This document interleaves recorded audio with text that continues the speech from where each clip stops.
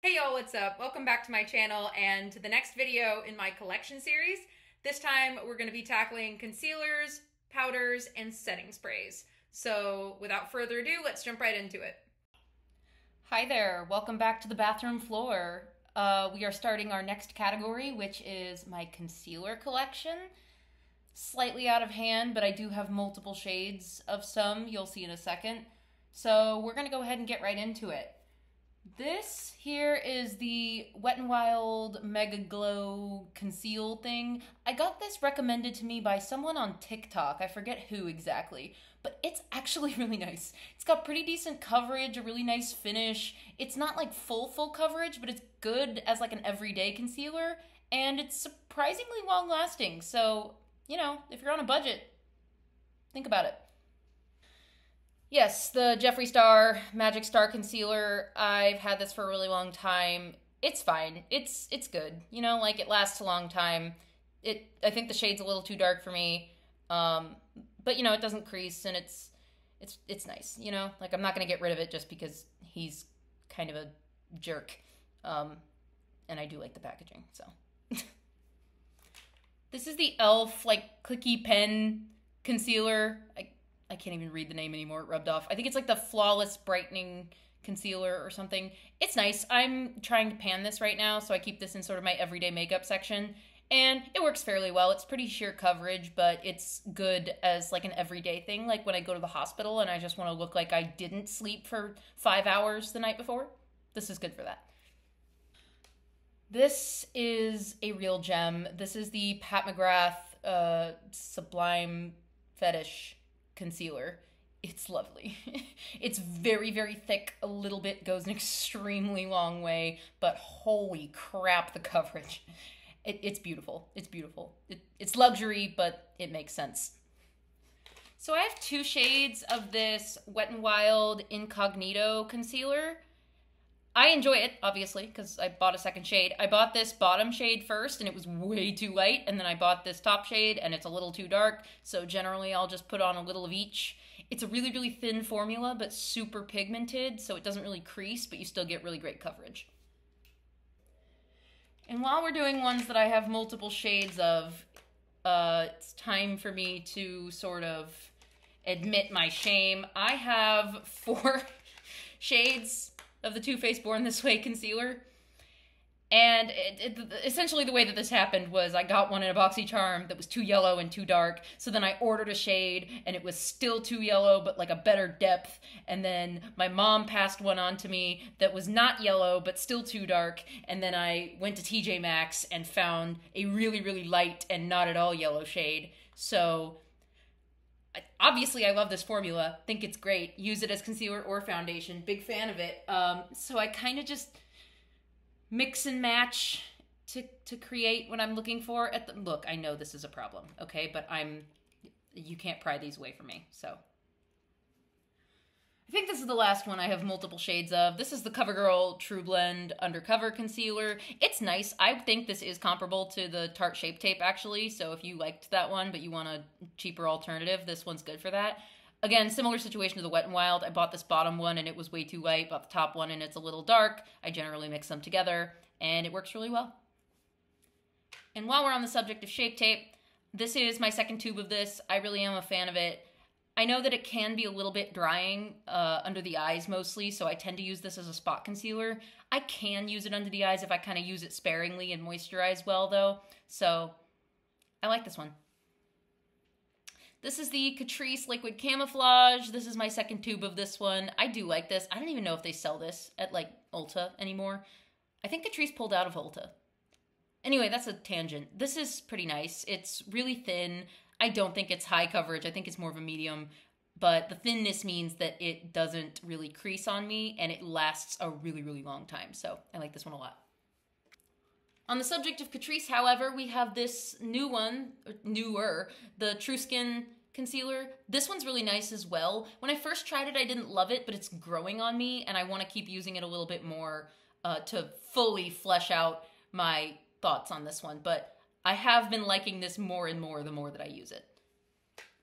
This is the ColourPop Pretty Fresh Hydrating hyaluronic whatever concealer. Um, it's nice. I like this one. I will use this in a couple of different ways. This is a good one to just kind of throw in my bag when I need to touch up my face. It works under my eyes, it spot conceals fairly well, and yeah, I just I like this one. This is a holy grail for me. The NARS uh, soft matte pot concealer. It's absolutely amazing.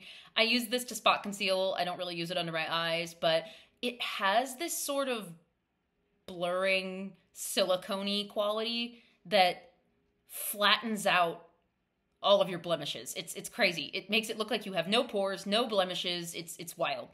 Um, I the way that I've seen this used is to put it on under foundation. So I've tried that. It works well. It works well over foundation. I I think this is just really really worth it. On a related note, the NARS Radiant Creamy Concealer. This one's a little touch too dark and too yellow for me, uh, but I use it anyway. I, I can correct it fairly easily because I just really like the formula. Mine is getting a little bit dried out, so I think I'd like to pick up a new one in a new shade at some point. Uh, but for now, I'm gonna keep using it, really enjoy it. Okay, this one. I don't know what to do with this. This might be an unpopular opinion. This is the e.l.f. Hydrating Camo Concealer. And I don't know, this got a lot of hype. It still gets a lot of hype. It got a lot of hype when it came out. But I feel like every time I use this under my eyes, it just looks bad. And I've worked with it, I really have. I've tried it with my favorite powders, I've tried it with different skincare, different sunscreens, and I just feel like it always looks bad. Maybe it's just me, but like I, I don't relish the thought of using this, so I think I'm actually gonna declutter this one. I don't know. I don't know. Is it just me? Am I the problem? This is the Revolution Conceal and Hydrate Concealer. I like this one a lot. It's it's good, you know it's a drugstore classic, I feel like, and uh, it does what it says it's gonna do. Not the best, but good enough to keep. I have this mini of the Tarte Shape Tape Ultra Creamy. I bought this in a shade that's a little too light for me, so I usually will mix this with some of those concealers that are a little too dark for me, and it helps that it's creamy because my under eyes need all the hydration they can get. This is the L'Oreal Age Perfect Radiant Concealer. I like this one. It's nice. I, I would say it's semi-similar to the NARS. I think that's kind of what they were going for. And I, th- I think it's semi-similar. It's a little bit thinner in consistency, but the coverage level and the finish are similar. So I, I don't even know if you can get this in store anymore, but if you can, it's nice. This is the Revlon Candid Concealer. I like this one. Another one that's really good to just throw in my bag that I can use under my eyes or all over my face. It's a good one. It's a go-to. This is the Flower Beauty Light Illusion Concealer, and I am conflicted about this. I like the formula. I like the finish. I like how it wears. The color is just a little iffy for me. It's just so it's so pink on me. You it, you can't really tell when it's on my hand, but it's it's so pink it like leans gray on my skin. I feel like it's you can't really tell from the swatch, but I don't know. I feel like it's usable and I do like the formula, but keep in mind that uh the lightest shade is A, not all that light, and B, very pink. This is the First Aid Beauty bendy avocado concealer thing. This got a lot of hype at one point on beauty YouTube, and I do like it. It's a really, really thin formula. I would call it light to medium in coverage, so I also like this one on an everyday basis, but you definitely have to set this one because it stays very, very creamy and it will move around if you don't set it down sort of similar but different. This is the It Cosmetics Bye Bye Under Eye. This is a little mini tube, but this stuff lasts forever because you need like less than the head of a pin of an amount of this to for under an eye. It's it's crazily pigmented, but I say similar to the last one in that it also stays extremely creamy. It is not self-setting. You must set this or you're going to look like a greasy creasy mess. However, Oh boy, my dark circles love this stuff. this is the Laura Mercier, I, want, I think it's called the Flawless Fusion. Yeah, the Flawless Fusion Concealer. It's nice. It's very, very thin, so it sets down well, doesn't really crease. Not that much in the way of coverage. I would say almost medium, but again, good for every day. it's it's nice. You don't really have to set it if you don't want to, so you know it's it's reliable. This is the NYX Born to Glow. You can't get this anymore. I'm sorry. It is really really nice. Um, the one thing I don't like about it is this stupid sponge applicator that's always dirty. Um, really good, medium coverage, radiant finish. I enjoy it. However, the cream of the crop, the creme de la creme, the one to rule them all, is the NYX Bare With Me Concealer Serum. Holy crap, I love this stuff. It is so beautiful. This, honestly, if I had to get rid of every other concealer in my collection and I could only keep this one, I feel like I'd be totally okay with that. This absolutely blew me away. It is so, it's so pigmented, but so thin, so creamy, so hydrating. It, oh my goodness i can wear this all over my face or under my eyes i can do i can do anything with this it is perfect you can set it not set it depending on the look that you're going for i just i i could sing the praises of this all day but the short version of it is this is the best concealer i have hands down all right so that's it for concealers let's go ahead and move on to my powder collection all right y'all moving right along to my powder collection as you can see i have quite a few let's get started here with this. This is the tragedy of a lifetime. And no, I'm not about to tell you that I hated it because I absolutely love it. It is beautiful. What I'm about to tell you is that I absolutely shattered it. It it is destroyed. So that is where this comes in. Uh, I emptied out the e.l.f. Putty Primer because it Putty Eye Primer because it was terrible, and I put the loose remnants of my Pat McGrath powder in here, and I will use every bit of it because it's delightful. It makes your under eyes look so smooth and a little bit brighter, and I just this this made me really really sad. Sticking to these little ones. This is the Dermablend powder. I am probably going to get rid of this cuz I literally just never think about it cuz it's so small and just so like unremarkable to me. Yeah, I don't know. She's gonna go. This is the Laura Mercier. I think it's the yeah the secret brightening powder. I like this. It's not amazing for like setting like long wear wise, but it is really brightening and it does smooth things over. So I like it for that. This I love. I use this all the time. This is a little teeny tiny of the By Terry Hyaluronic Hydra Powder. This is so good. I 100% get why this has so much hype and why they charge so much for it. Um, honestly, when I run out of it, I might buy like a real one. it's really, really good. All right, we'll start with this row of pressed compacts here. I have this e.l.f. Perfect Finish HD powder. I would say that this is fairly similar in texture and finish to the um, It Cosmetics Bye Bye Pores powder. Really enjoy this. Uh, if you're looking for a powder that's super similar to that, this is your this is your girl, and it's what six bucks. Recommend. This, unfortunately, I don't think is available anymore, which is a real shame. This is the NYX No Filter powder. I'm not gonna touch it because it gets hard pan really easy, but um, it's got just a hair of a tint to it, but mainly it's just really, really smoothing, really blurring. Um, I love a finishing powder, so this is amazing for that. Speaking of loving a good finishing powder, this is the Hourglass Ambient Lighting Powder in the shade Luminous Light. I love her. This just has a way of going on and smoothing everything over, leaving a little bit of a shine. So beautiful. This is the NYX Can't Stop Won't Stop mattifying powder. I am not usually one for a mattifying powder, but if I'm gonna use one, it's gonna be this. I've heard this compared in terms of finish to the Charlotte Tilbury airbrush powder, and while I don't have one, I have sort of borrowed and tried one before, and this is incredibly similar in finish. I don't generally use this under my eyes. I kind of just use it if I went a little bit overboard on the glow to just tone things down a little bit, and it works amazingly. I'm going to try not to spend too long on this one, and I'm also going to try not to blind you. This is the Becca Light Shifter Finishing Veil. It is absolutely beautiful. This has recently been dethroned as my favorite finishing powder, but it is still my favorite glowy finishing powder, even more than the Hourglass. I love this stuff.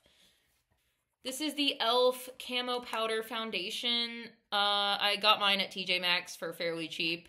I heard a lot of hype about it, and it is fairly nice. It's got a lot of coverage if you want to use it for that. You can kind of apply it with like a wet sponge, and it'll apply fairly nicely. Or you can kind of dust on a light layer for a little bit of um, additional coverage and just sort of setting and mattifying just a touch. It's more of a natural finish. I like this one. Again, when you can't get any more, so I'm not going to harp on it too long. Milani Prep Set and Glow. This is absolutely perfect. Very similar to the Becca one, uh, with just the glowy finish and the smoothing property. I'm sorry. this is my all-time holy grail setting powder for under the eyes. This is the Flower Light Illusion powder. I've heard this also called a dupe for the Charlotte Tilbury powder, and I disagree. This is better. Run, don't walk. For the record, this is my second one. I went through an entire one of these. You see how many powders I have? I went through an entire one of these. That's my greatest endorsement of this product. Okay, we'll go ahead and move on to the other basket. This is the Wet n Wild Color Icon Bronzer in the shade Reserve Your Cabana. As you can see, it's extremely fair, so I find it actually works really, really well as a finishing powder. It adds just a hint of color to the face, but it also has this beautiful slight sheen and uh, kind of a blurring finish, so this is great. I don't even know if you can get this anymore. I'm going to be sad if I can never find this again. Essence, Brighten Up Banana Powder. Love this stuff. I've gone through, I want to say, two of these. This I don't love to set all by itself, but if I just want to add a little, the tiniest dusting of this will help really, really brighten up dark circles. So I love this. This is my new Holy Grail finishing powder. This is the Kosas Cloud set. As you can see, she's been used and abused. I, I have no idea how this is this good. It is so finely milled, so lightweight, so blurring. It takes down shine but still lets the shine show through. It never looks cakey. It never looks powdery makeupy. I do not know how they did this, but I'm obsessed with this. If my makeup ever just looks not quite right in finish and I just want to make it I don't know, just perfect. This dusted all over the face. And it's incredible. This is the L'Oreal Age Perfect Creamy Powder Foundation.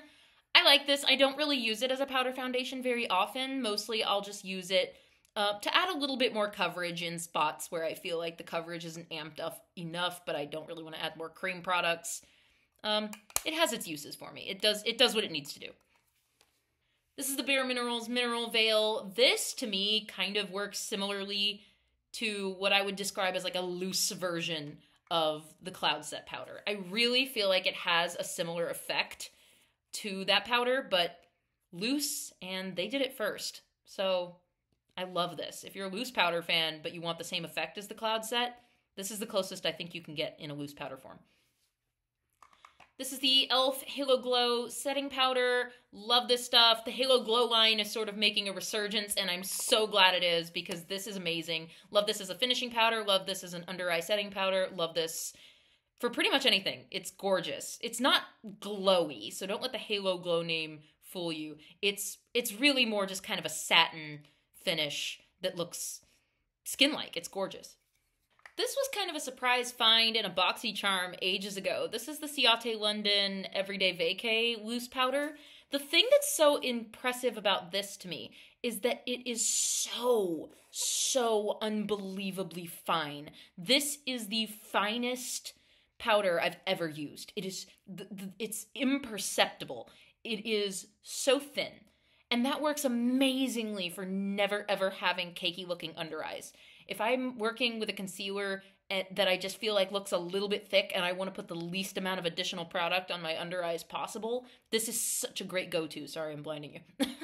but this is incredible, seriously. If you ever find this, highly recommend. It's gorgeous. I also got this in a BoxyCharm. This is the Beauty Bakery Flower Setting Powder.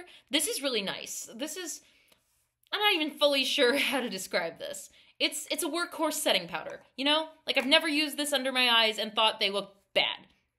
It it it does the job. It does what it needs to do.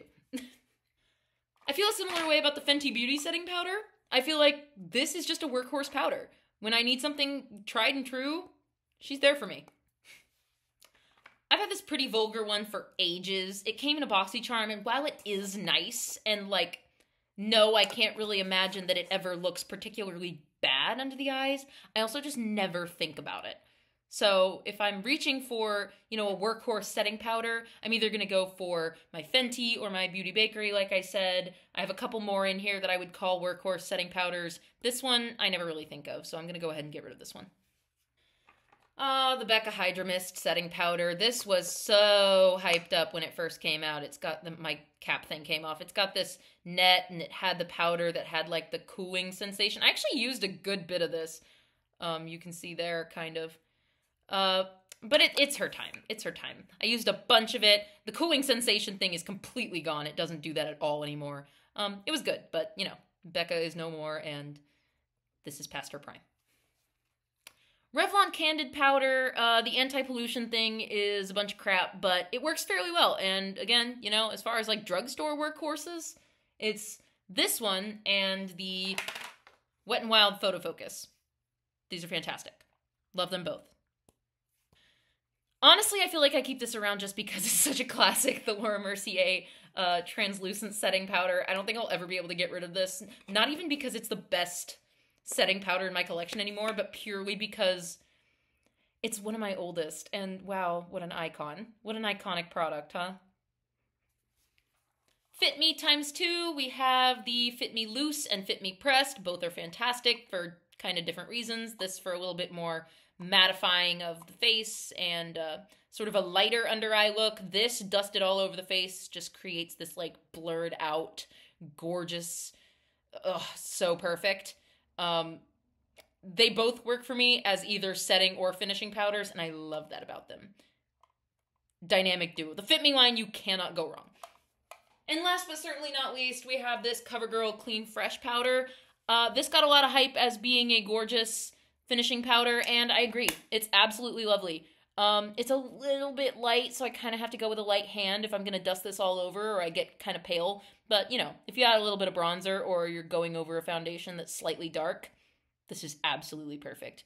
Don't usually use it under my eyes. I'm sure it would work. I just have under eye powders I like better. But this is stunning. I was just about to put these away when I realized I missed one because it's with my everyday makeup. This is the number seven Lift and Illuminate powder. It is perfection. I'm working on panning this. I adore this. This is sort of my second in command to my Flower Beauty. Love, love, love, love. Very similar to the Charlotte Tilbury as well. Highly recommend.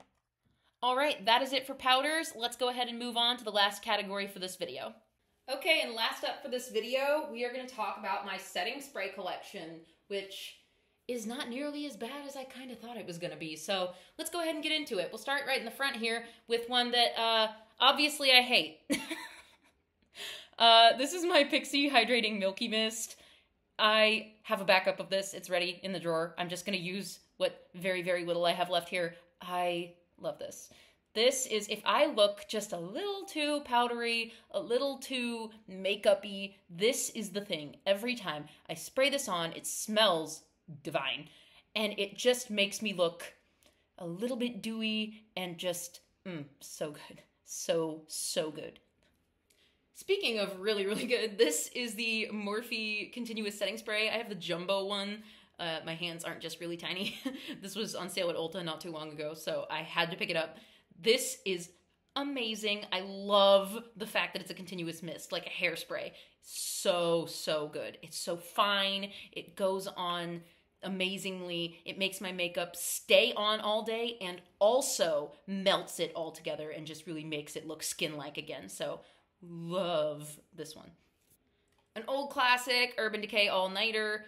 It kind of melts your makeup in, but mostly this one's for staying power and it does a really great job at that. So it definitely does what it says it's going to do. So I keep her around always. That being said, if you want the same thing, Milani Make It Last. Keeps your makeup on all the time, melts it in just a little bit, but mostly it's the staying power. I honestly would just as soon buy this as buy the Urban Decay, and it's, what, half the price? So this is a good one. I also have the Milani Make It Last sunscreen spray. I bought this because like I was going to the beach one day and I, I wanted to be able to reapply my sunscreen. I don't think I've ever actually used it, and I literally just sprayed it on my hand because someone had said that it has a really weird scent, and holy crap, it. it uh, I don't even know how to describe that scent. I and it's like lingering too. It's not going away. I think I might actually declutter this because there's no way I'm going to use this now that I know how it smells. On the other hand, something that smells really good is this Farsali Rose Gold Skin Mist. I don't think they sell this anymore. I'm pretty sure False Farsali doesn't even really exist. Um, but this is beautiful. It's another one of those ones that really just kind of melts all your makeup together, makes you look a little bit dewy. Uh, you know, you, you can get stuff that's just as good now. You're, you're not missing out if you didn't get your hands on this. But I do like how it smells, so that's a plus. One of the things that you can get that will do almost exactly what that one does is the L'Oreal Shake and Glow Dew Mist. Again, this isn't really going to help your staying power much, but it will make you so glowy and beautiful. Love this one. And on a related note, the ColourPop Pretty Fresh Hydrating Mist will make you glowy and beautiful and dewy and melt out your makeup together. Once again, not really the best for staying power, but I kind of have my go-tos for staying power and I like the dew, so love her. Speaking of liking the dew, this is a little mini of the Lilah B Aglow Face Mist. The full size of this is absurdly expensive, so I'm not to buy it, but you know, I like the mini. It's nice. Makes you very glowy. Very, very glowy. This is heavy duty glow.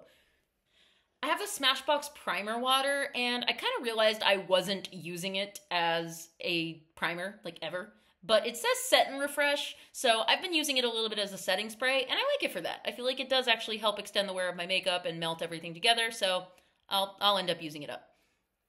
This is a little mini sample thing of the Benefit POREfessional. Uh, it's so almost out. I really like this, though. I'm probably actually going to buy either...